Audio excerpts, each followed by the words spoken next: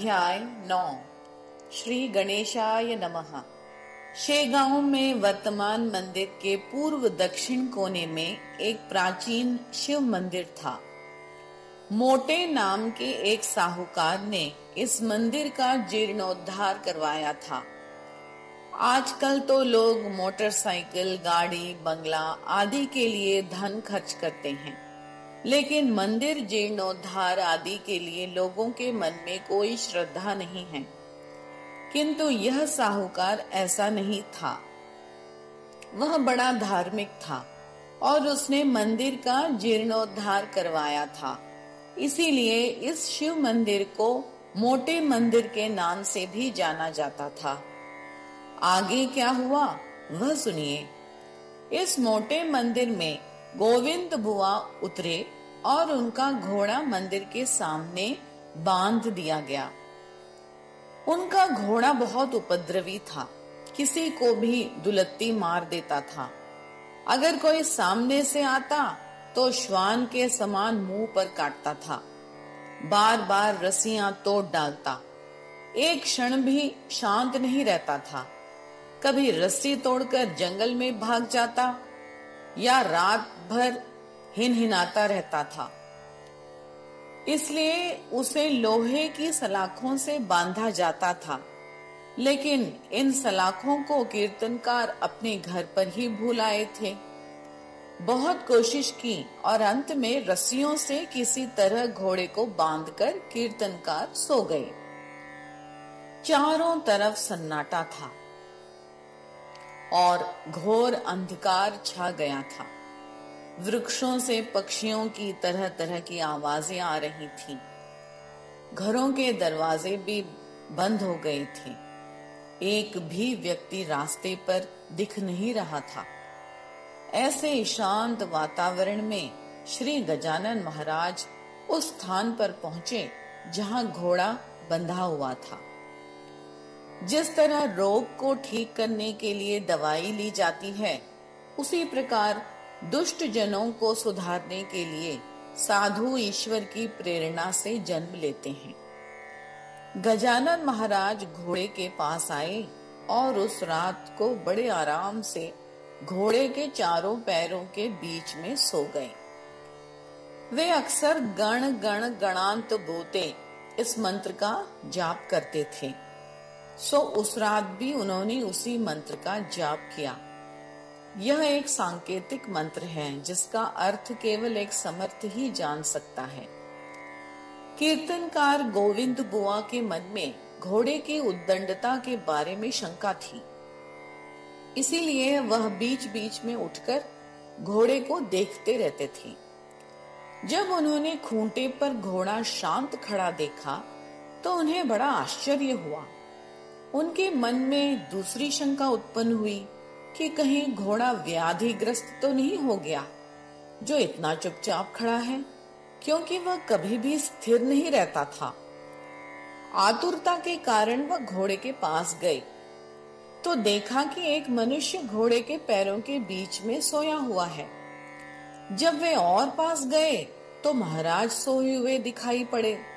और उनको पता चल गया कि घोड़ा शांत क्यों है। यह देखकर गोविंद बुआ ने महाराज के चरण कमल पर अपना सिर रखा और भावुक हो गए वह महाराज की स्तुति करने लगे। भगवान, आप साक्षात गजानन हैं। यह मुझे आज प्रत्यक्ष पता चल गया है। गजानन तो विघ्न हरता है।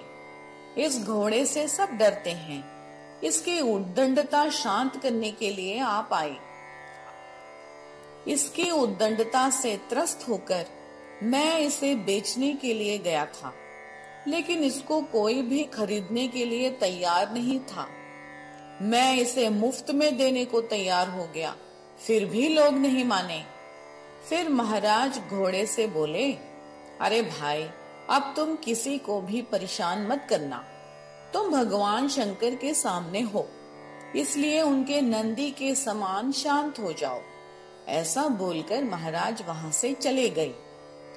श्रोताओं, दूसरे दिन महाराज बगीचे में थे। तो गोविंद बुआ उस घोड़े पर बैठकर महाराज के दर्शन के लिए आया।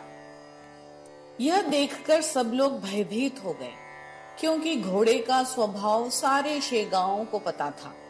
सब लोग कहने लगे, इस दुष्ट घोड़े को यहाँ किस लिए लाए हैं? यहाँ बच्चे, बूढ़े, स्त्रियाँ सब हैं तो किसी को भी हानि पहुँचा सकता है? यह सुनकर गोविंद बुआ ने कहा, महाराज ने इसको शांत कर दिया है। अब इससे कोई भय नहीं है। अब यह गरीब गाय के समान हो गया है। उसके बाद उन्होंने उस घोड़े को इमली के पेड़ के नीचे खड़ा कर दिया। जो एक घंटे तक बिना बंधे हुए खड़ा रहा। उस बगीचे में घास और सब्ज़ी के पौधे भी थे, लेकिन घोड़े ने उनको मुँह तक नहीं लगाया।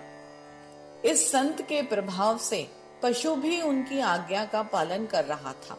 अकोला मंडल में बालापुर नामक तहसील है।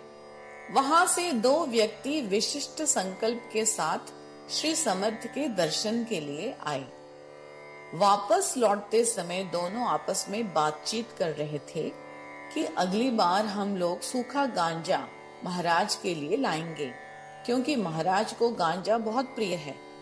वह पाकर महाराज प्रसन्न होकर हम पर कृपा करेंगे। लोग तो पेड़ा, बर्फ़ी वगैरह लेकर आते हैं। हम लोग गांजा लेकर आएँगे। दूसरी बार वह लोग दर्शन के लिए आए तो किंतु गांजा लाना फिर भूल गए। महाराज के चरणों पर जब सर रखा, तब उन्हें याद आया कि गांजा तो लाए ही नहीं। मन में सोचा, ठीक है, अगली बार ले आएँगे। अब की बार दुगुना गांजा ले आएँगे। ऐसा कहकर दर्शन करके वे चले गए। जब तीसरी बार आए, तब भी यही हुआ। वह लोग फिर से गांजा लाना भूल गए। हाथ जोड़कर महाराज के सामने बैठे, किंतु गांजा लाना याद ही नहीं रहा। यह देखकर महाराज भास्कर से बोले, भास्कर, कैसे लोग हैं इस जगत में जो वस्तु लाना भूल जाते हैं? जाति से तो यह लोग ब्राह्मण हैं, किंतु स्वयं ही असत्य बोलते हैं। जब हम कोई संकल्प लेते हैं, तब हमारा मन, चित्त निर्मल होना चाहिए। तभी घनश्याम की कृपा हो सकती है। यह सुनकर दोनों व्यक्ति समझ गए कि महाराज सर्वज्ञ हैं, महान ज्ञानी हैं, इनसे तो कुछ भी छुपा नहीं है। उन दोनों ने विचार किया कि संकल्प हमने ही लिया था इसलिए गाँव में जाकर गांजा लेकर आते हैं। जब वे उठकर जाने लगे तब महाराज बोले अरे अब बासी कड़ी गर्म करने से क्या लाभ? मुझे गांजे की बिल्कुल आकांक्षा नहीं है। अब गांजा लेने बाज़ार में जाने की आवश्यकता नहीं। तुम दोनों की मनोकामना पूर्ण होने पर ले आना। किंतु एक बात याद रखो कि तुम्हारी मनोकामना तभी पूर्ण होगी जब तुम्हारी कृति में और वाणी में सामंजस्य होगा। अगले सप्ताह में तुम्हारा काम पूरा हो जाएगा। तुम्हारा काम अच्छे से हो जाएगा, लेकिन तुम्हें यहाँ पाँच बार आना है। क्योंकि यहाँ भगवान शंकर स्थित हैं, जिनकी कृपा से देवताओं के कोषाध्यक्ष कुबेर स्वयं धनवान हुए हैं। जाओ उन्हें नमस्कार करो और अगली बार गांजा लाना ना भूलना। ऐसा उपदेश सुनकर वह दोनों महाराज की चरण वंदना करके भगवान शंकर के दर्शन करने के बाद अपने गाँव बालापुर लौट गए। महाराज के कथन के अनुसार अगले सप्ताह उनका कार्य सफल हो गया और अपने संकल्प के अनुसार वह लोग गांजा लेकर महाराज के पास आई। श्रोताओं, इस बालापुर की दूसरी कहानी मैं आप लोगों को सुनाता हूँ। बालापुर में बालकृष्ण नाम का एक रामदासी था। उसकी पत्नी का नाम पुतली बाई था, जो बहुत धार्मिक थी। दोनों पति पत्नी हर वर्ष पैदल सज्जनगढ़ से यात्रा करने आते थे।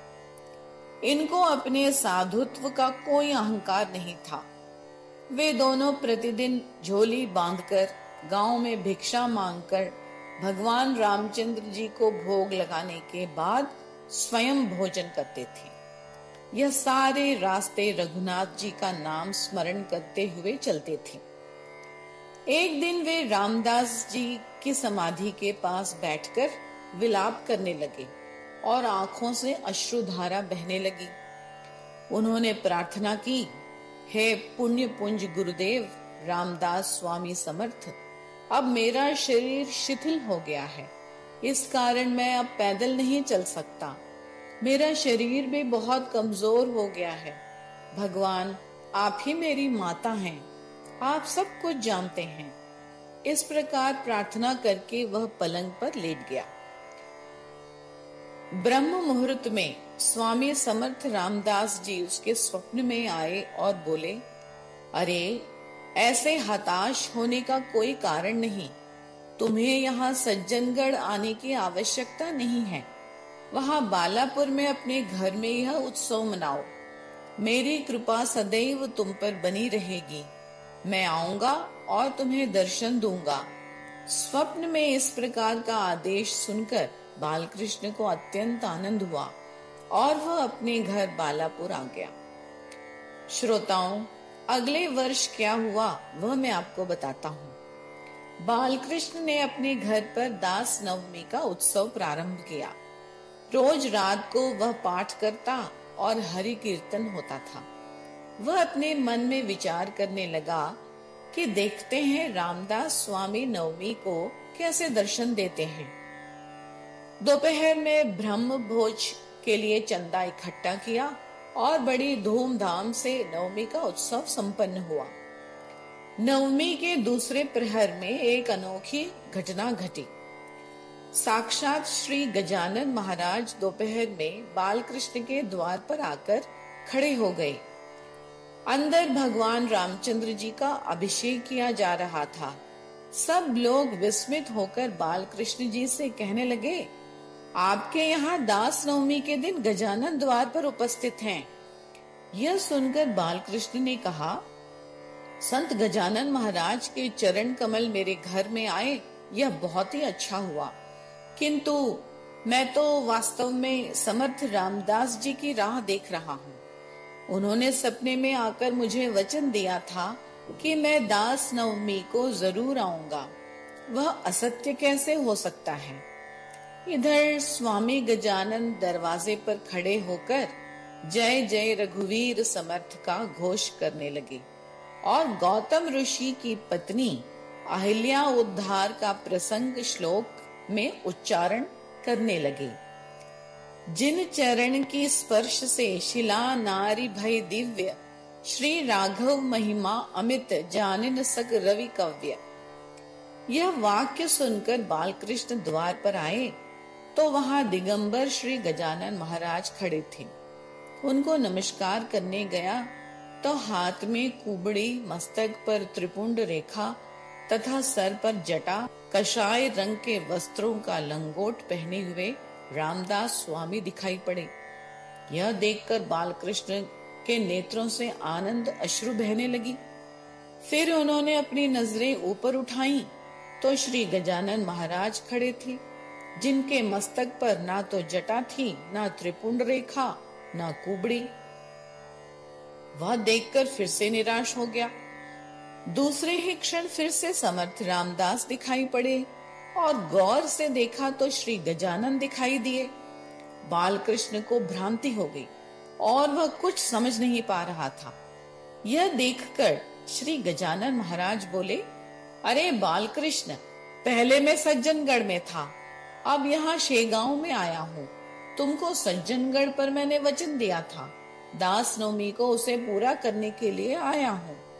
सारी शंकाएँ छोड़ दो, मैं ही रामदास हूँ। तुम केवल बाह्य शरीर को महत्व देते हो और उसकी अंतरात्मा का विस्मरण कर देते हो। क्या यह ठीक है? चलो मुझे उठाओ और पीढ़े पर बिठाओ। ऐसा कहकर बालकृष्ण का हाथ पकड़कर घर में आए श्री समर्थ गजानन महाराज के आने की वार्ता फैल गई। सभी लोग दर्शन के लिए दौड़ने लगे। रात के तीसरे प्रहर में उन्होंने स्वप्न देखा। कि समर्थ रामदास उनसे कह रहे हैं, गजानन मेरा ही रूप है, जो आजकल बरार में है। शंका मत करो, गजानन की पूजा करो।